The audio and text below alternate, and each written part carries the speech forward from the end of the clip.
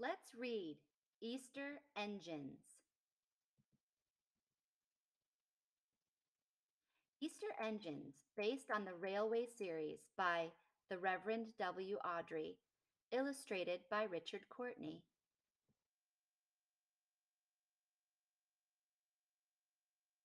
It is Easter morning. James, Percy, and Thomas are being washed for the Easter parade. We are bright and shiny like Easter eggs, said James.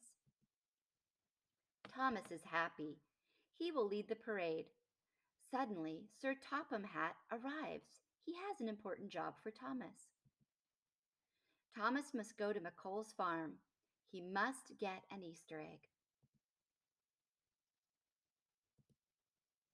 Thomas will do the job. Then he will race back to the parade. Thomas zooms down the track. He sees McColl's farm. Thomas stops at the farm. He is surprised. The egg is very shiny. It's also very big. It is the biggest egg in the world, said Thomas. Terence tells Thomas to be careful. He tells Thomas not to break the egg. Chug, chug, Thomas rolls slowly up the track. He is very careful. He does not want to break the egg. The egg shakes and wobbles. It does not fall.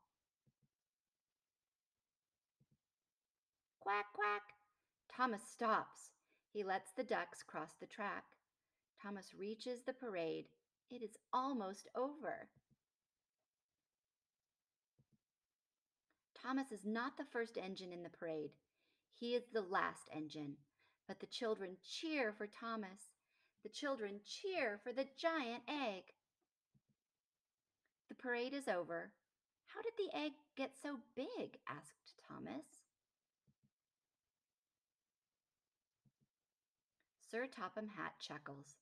The egg is not real. It is made of paper. Rip, rip. Sir Thomas Hatt opens the egg. It is full of Easter baskets. One child gives Thomas a basket. Thomas is very happy. The children love their baskets. They thank Thomas. We are like big, shiny eggs, James says to Thomas.